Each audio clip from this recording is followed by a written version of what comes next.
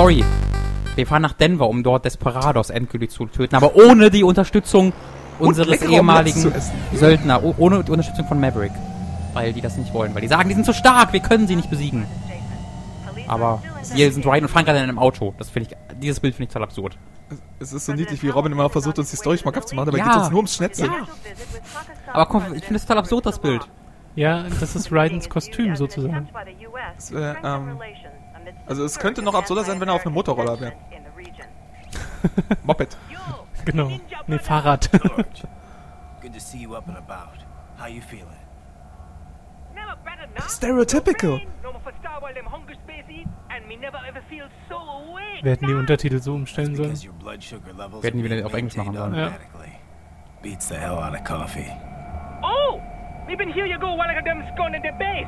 Why the of you not take me with you, huh? Kid, I don't understand a word you're saying. Sorry, kid.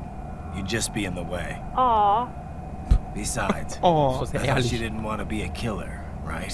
me don't, but Killing isn't fun and games. Well, oh Gott. this is real. This is, ich hasse es, wenn die in Spielen oder Filmen sagen, this is not a movie. Oder this is not a game. Fuck you, natürlich, das, du machst mich gerade nur darauf aufmerksam, dass es ein Spiel ist.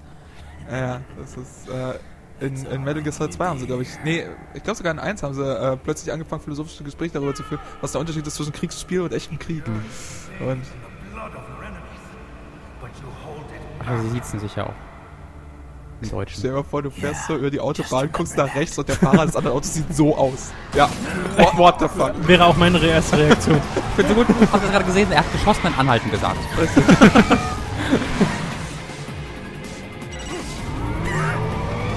glaube nicht, dass man mit so äh, Fußbedeckung äh, fahren darf. Ja, vor allem mit der Stärke, die äh, Ryan durch sein komisches Exoskeleton müsste er einfach Er, komplett müsste- durchdrehen. er müsste eigentlich so wie äh, Fred Feuerstein äh, fahren. Ja, Mann, aber... Sorry, Boris, it's done. Can't have a Maverick employee involved in a corporate raiding now, can we? You could at least come talk to me. No. It was time to break away from the old team, Boris. Past time. Ich dachte für einen kurzen Moment, jemand hätte Ryans Auto mit dem Taxi verwechselt und würde hinten drin sitzen und mit ihm reden. So, ähm, äh, ähm, könnten Sie mich rauslassen? Not simple, right? They import those brains legally. For medical purposes. It's all done. Being legal doesn't make it right. Right. I... Das hasse ich. Er wurde gar nicht unterbrochen. Richtig, in Spielen Ja. und in Filmen, wenn die immer... Ei. Wenn, ja, wenn, Ja. Die, wenn die ihren Satz unterbrechen, ohne dass sie in dem Ja, Moment ja. tatsächlich unterbrochen werden. Das kommt zum Kotzen. Passiert aber so oft wegen, wegen, wegen der Technologie. Also gerade in Spielen. stand da gerade im Untertitel Fick dich, Mistkerl. Okay. I don't like you, hat er gesagt. I disapprove Oh, of your life Move. decisions. Oh, That move. What the fuck are you doing? oh, es steht wirklich hier. Es sitzt hier wirklich Verdammt, die Rakete hat nichts gebracht. Lasst uns unsere Pistolen benutzen. Doch, sie hat genau das gemacht, was Raiden wollte. Über die Mauer katapultiert. Ähm, ja. Und weiterfahren? Oh, schade. äh, weißt du, jetzt klappen sich die, Auto, die Räder so nach unten und das fährt einfach weiter. Bei Tom ist alles Back to the Future. Alles. Ohne Ausnahme. Oh Gott, wird er noch leben? Wer hätte das gesagt? Bloß nicht schießen, Leute. Wartet, bis er ausgestiegen ist. Ich dachte, er kommt jetzt so lasziv mit seinem Fuß. Dazu Big Spender. Guck, wie awesome das ist, bitte. Ach Mensch. Warum? Schießt nicht auf den Hund! Ich wollte gerade sagen, warum warten Sie? you are not licensed to operate in this area. You're in violation of state and federal law. Law! Das, Ah, das kostet sie eine Strafe von mindestens you better 15 arrest Euro. Der Typ ist so cool, der Schnäuzer von ihm, oder das Bärtchen. Ist ja cool. wieso sind die jetzt noch überheblich? 104.7 threatening a peace officer. Deadly force is authorized. Dann packen die ihre Waffen weg und holen ihre Elektroschocker raus. Deadly Force. Das ist so geil. Tja, waren wohl nur Platzpatronen. Im Gegensatz zu dem Elektroschocker, der ist auf Rösten geschossen. Yay! Yeah. Eieiei! Oh Gott, ich habe ein bisschen Steuerung vergessen. Äh, okay, ja, ja, alles klar. Du, das macht nichts. Äh, In den letzten Folgen hattest du auch gesackt davor. Ja, ja, ich weiß. Das war einmal. Nee, das war wirklich. Selbst Gucci Guilty hat geschrieben, dass du gesackt hast. Ja. Und wenn Gucci Guilty sagt, dass du sackst, dann glaube ich dir. Oh, cool. wo hast du das gerade rausgeholt? Aus seinem Penis. Du weißt, we- weißt du, willst auch nicht wissen, was er da gerade rausgeholt Nee. hat. Die haben bloß eben sechs davon. Ah! Ach, schade. Doch, habe ich Doch, gerade. Und doch, der andere doch, auch noch. ja. Sehr schön. Habe ich sogar zwei in der Hand. 94 Teile. Davon Ich die meisten Genitalien aus irgendeinem Grund. Sieht tatsächlich nicht weniger cool aus, das in einem Poncho zu machen. Er ist ein bisschen alberner, aber nicht uncooler. ne. Eieiei. Kali, Nero. Ich, ich habe das nie verstanden. Calimero hatte kein Sombrero, oder? Er hatte diese dumme Eierschale. Nee, er hat ne, ja, das stimmt. Warum bin ich so fröhlich? Ist er das?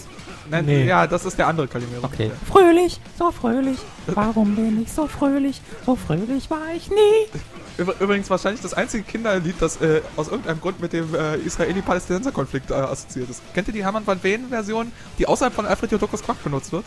Da gibt's Nee. eine Strophe, in der Nichts von dem, grad, was du gerade sagst, macht Sinn für mich.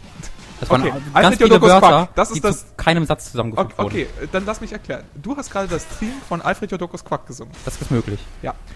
Dieses Team stammt von einem Liedermacher namens Hermann van Veen, ein belgischer Liedermacher, wenn ich nicht irre. Ähm, Äh, Holländer. Holländer? Glaube ich. Glaube schon. Kann, kann durchaus sein. Ähm, und der, äh, das, Nein!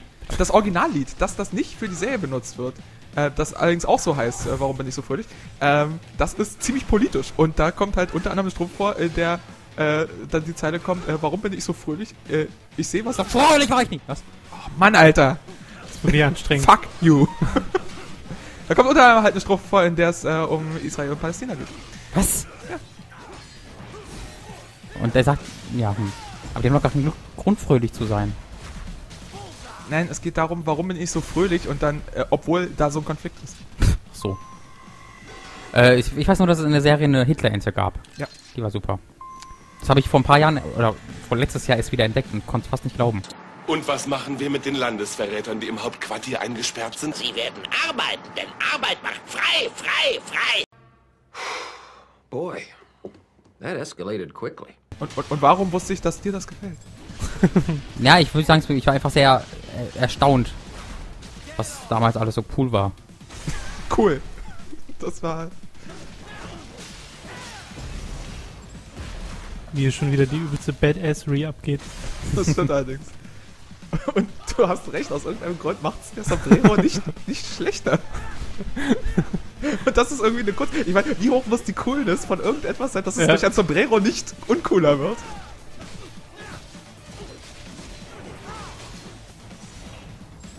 Gibt's eigentlich Oh, noch, mit einem Schnitt. Du bist so ein Skiller. gibt's eigentlich noch mehr so Spaßkostüme oder sind die anderen dann eher so ein Äh. bisschen ernsthaft?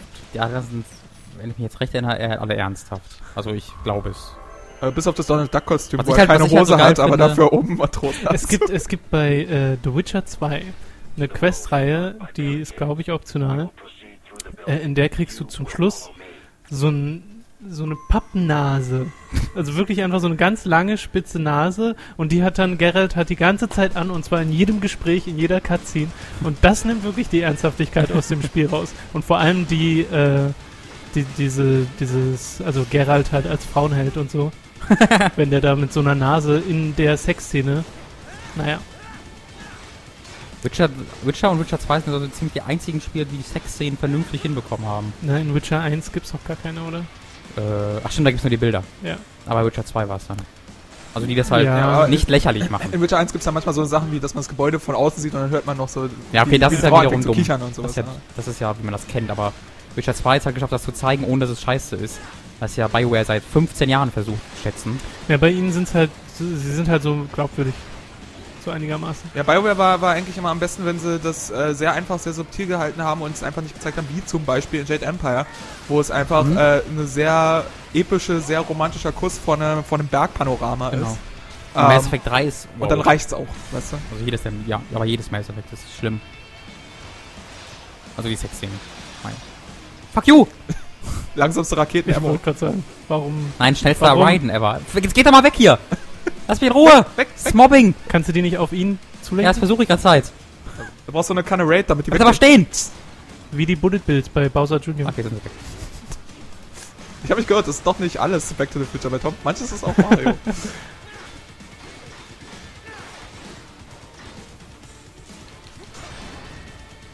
Ich würde es aber, äh, ich hätte es lustig gefunden, zugegeben nicht ganz politisch korrekt, aber lustig gefunden, wenn sie Ryden dazu noch so ein paar zusätzliche Sprachfiles gegeben hätten zu dem Outfit. Dass er halt zwischendurch, ja, dass er zwischendurch halt, Ja. ja.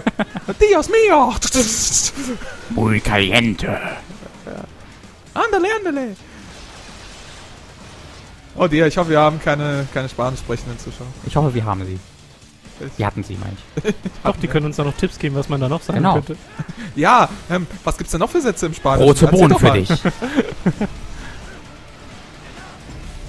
Was heißt denn, stirbt, ihr verdammten Cyborgs? Glaube ich. Oder, Oh um je. mal wieder einen Internetklassiker zu zitieren, äh, I wonder how you say Danzig in Spanish.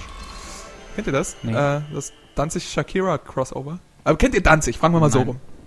Das Kennt ist, ein, das Danzig? ist doch ein Ort. Äh, Ja. Oh Gott, okay. Ich, äh, Nee, okay, ich kenne es nur als Ort. ja, ich, ich müsste jetzt anfangen, Sachen zu erklären, die einfach zu grundlegend für den Witz sind. Das ist der Doktor. Oh, stimmt. Und ich habe diesmal überhaupt kein, keine schlechte Imitation gemacht. Ach ja, Stealth. Psst, nicht so laut. Oh, Entschuldigung.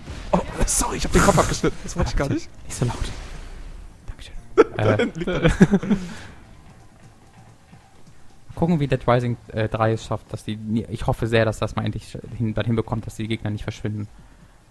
Ja, das kommt drauf an, ob es respawnende Gegner gibt, gell? Ja, ich meine nicht, dass sie das ganze Spiel überbleiben, aber dass man zumindest nicht sieht, wie sie verschwinden. Ja. Dass man halt wirklich nicht sofort. einfach, dass man einfach so ein ganzes Areal schaffen kann, dass irgendwie hunderte Zombies da liegen. Das war ja echt, das hat ja, ge- da haben die ja geschafft, die haben ja ähm, die Half-Life 2 in der Orange Box zensiert. Wisst ihr das noch?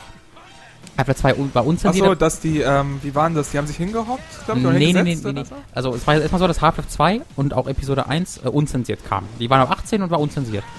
Ähm, bei der Orange Box war es allerdings so, dass Valve aus irgendeinem Grund, ich glaube, das war es, weil die eine 16er Freigabe haben wollten statt eine 18er, haben die, bevor die es zur OSK abgegeben haben, äh, das Spiel Half-Life 2 zensiert und dann trotzdem eine 18er bekommen.